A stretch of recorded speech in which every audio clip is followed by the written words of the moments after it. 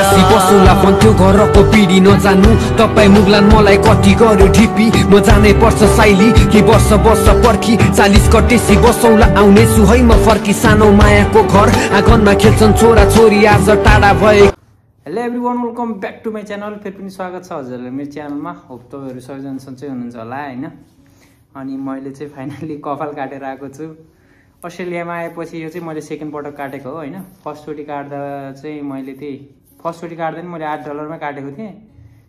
त्यो बेला चाहिँ के भएको थियो भने यस्तो सर्ट यति सर्ट चाहिँ काटेको थिएन मैले त्यो बेला होइन? आफैलाई कस्तो फिल भइरहेछ क्या? मैले नेपालमा त्यत्रो टिचरहरूले कुटे पिटे कति के गरे पनि मैले काटिदिन्थेँ क्या नेपालमा चाहिँ। अनि अब कलेज स्कुलमै काटिदिन्थेँ होइन? अनि स्कुलमा हुँदा चाहिँ के हुन्थ्यो भने म स्कुलमा हुँदा चाहिँ स साथीहरू सबको तिक्लु थियो क्या। अनि अब जसले काट्यो तिनीहरूको प्ल्याट प्ल्याट पड्काउँथ्यो होइन स्कुलमा हुँदा चाहिँ। अनि अनि तिक्लु तिक्लु भनेर जिस्काउँथ्यो क्या। अब वर्तमानहरू हुन्थ्यो नि त स्कुलमा हुँदा चाहिँ सबको। अनि त्यो त्यो वर्तमान भयो भने त टोपी लाएर आयो नि टोपी खोज्दै प्याटकी प्याट हान्ने क्या ट तक्लीमा। त्यस्तो गर्थ्यो अनि जे होस् मलाई चाहिँ त्यो स्कुल पढेदेखि नै कपालहरू चाहिँ लास्टै पाल्न मन हुने क्या। स्कुल कलेज पढ्दा डिआईहरूले कति थर्काउँदै नि काट्दिनँ थिएँ त्यस्तो। अनि हाम्रो कलेजमा चाहिँ त्यस्तो सर्ट काट्नुपर्छ भन्ने नि हुँदैन थियो क्या। साइकल पढेको हो होइन। अनि त्यो चाहिँ कपालले गर्ने नि केही त्यस्तो केही नै होइन क्या। यहाँ चाहिँ फेरि कपाल जति नै पाल्न पाउँछ है कलेज कलेजमा चाहिँ जति हजुरहरूले अब यति यति पाली नै भयो जति पाली हुन्छ। अनि काट्नु चाहिँ पर्दैन थियो। कसैको जबरजस्ती थिएन त्यो नि अब काम गर्दाखेरि आँखामा घोच्या घोची घोच्या घोचे गऱ्यो क्या लास्टै घोच्या घोचे गर्ने क्या अब एकछिन काम गऱ्यो पसिना आयो कपाल अगाडि आउने अनि घोच्ने अनि अर्को भनेको राति सुत अब राति आएर नुहाउनुपर्छ। नुहाएर सुत्दाखेरि कपाल चिसै हुन्छ निन्द्रै त्यो कपाल नसुकेसम्म निन्द्रै नलाग्ने क्या चिसो भएर।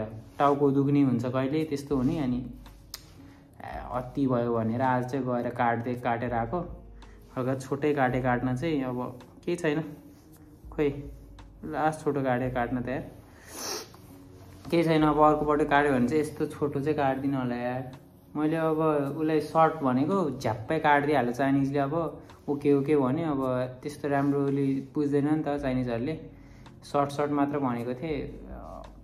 झ्याम्मै बिचमै त्यो काटे काटेँ होइन अब के भन्ने र। अनि ए होस् भनेर मैले चाहिँ काटिदिएँ स्लोप भनेको स्लोप चाहिँ हानिदिएको रहेछ। त्यही हो। आठ डलरमा अब काट्न चाहिँ काटियो। अनि हजुरहरू अब अस्ट्रेलिया आएर कपाल काट्न जानुभयो भने चाहिँ होइन त्यो नेपालीहरूको पसलमा चाहिँ नकाट्दा नि हुन्छ भने।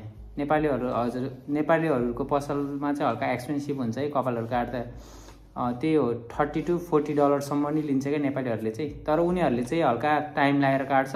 त्यो चाइनिजहरूले चाहिँ फास्ट फास्ट पाँच मिनटमै कपाल काटेर सकाइदिन्छ क्या उनीहरूले चाहिँ चाइनिजहरूले चाहिँ। त्यही गाइजहरू यहाँ चाहिँ अहिले चाहिँ जाडो महिना चलिरहेको छ।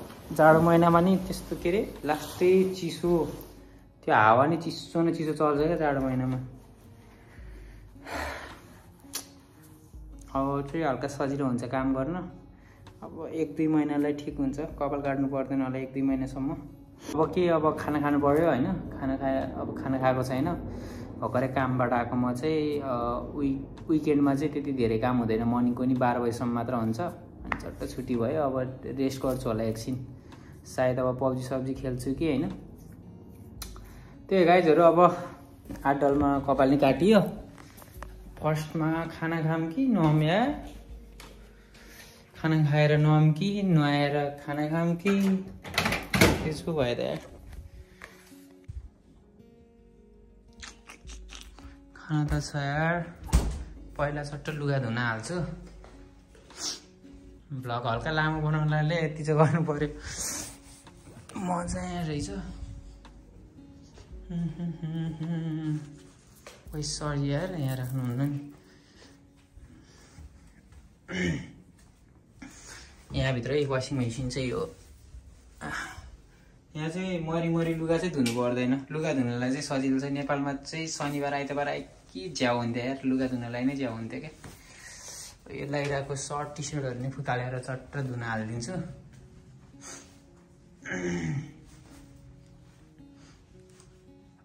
फर्स्टमा नुहाएर आउनु पर्ला यार। अब चाहिँ चट्ट कपडाहरू धुन हाल्नु पऱ्यो यार। यो के अरे कपाल कपाल छ यार कपडा पनि। चिसो चिसो चिसोमा झन् चिसो। यस्तरी वासिङ मेसिनमा कपडा हाल्यो अरू केही धुनु पर्छ कि पर्दैन अरू पनि धुनुपर्छ। यो चाहिँ हाम्रो रुम अब बिहान उठेर हेर यस्तो बिचको बनाएर छोडेको छ। यार सिरकहरू मिलाएकै छैन। ए धुनुपर्ने कपडा चाहिँ यता राखेको छु मैले। रङकोट त अहिले नधु मलाई यो धुन्छु। यो धुन्छु यो धुन्छु। अनि अर्को यो धुन्छु। त्यही हो यति धुनु पऱ्यो।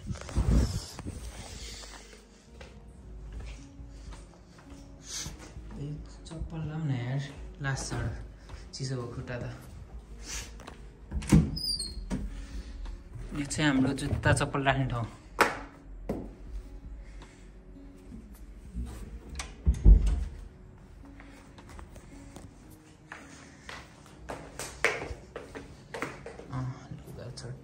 पऱ्यो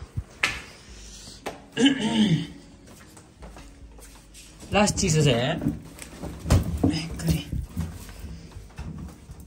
अनि के अरे त्यो कपाल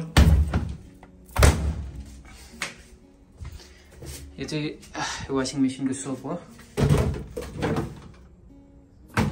सोप चाहिँ यहाँ हाल्ने होइन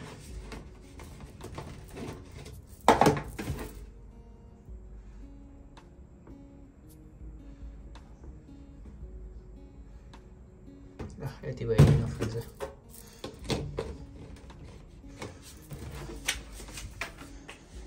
कति डलर गयो? पर्दैन होला।